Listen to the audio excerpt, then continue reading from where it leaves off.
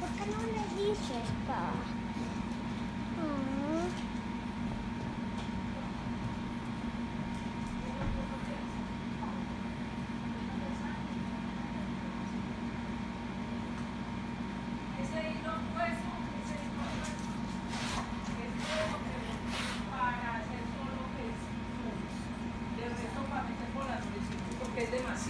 A no ser que la bola